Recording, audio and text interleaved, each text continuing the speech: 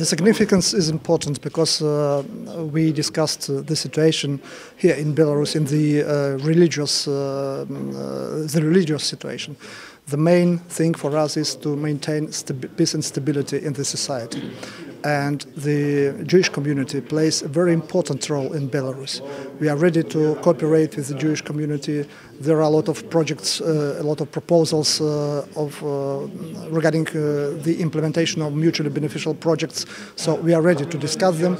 We are ready to help the Jewish community, and we are ready to, let's say, to implement these uh, uh, proposals, these uh, con- projects uh, into um, practical programs, mutually beneficial programs. Я очень э, удовлетворен. I'm very happy that this meeting happened. We, the most, most the, we, we need to uh, more information about Belarus all over the world, and that's a point that uh, the rabbis could give to us that n- nobody else could do. And we would we'd like that also religion part, uh, and also the business development we should de- develop uh, through this meeting. Для того, чтобы мы больше знали друг о друге. Can you tell us about the connection with the Jewish state, the state of Israel? We understand that there's good connections. Where do you see this?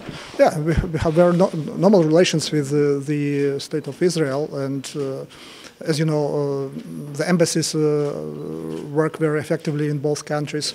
The trade turnover is growing, so uh, and there are a lot of, uh, uh, again, a lot of common projects uh, which we implement uh, here in Belarus with the participation of the Jewish people from, from the state of Israel. So the, our relations are very effective and constructive. We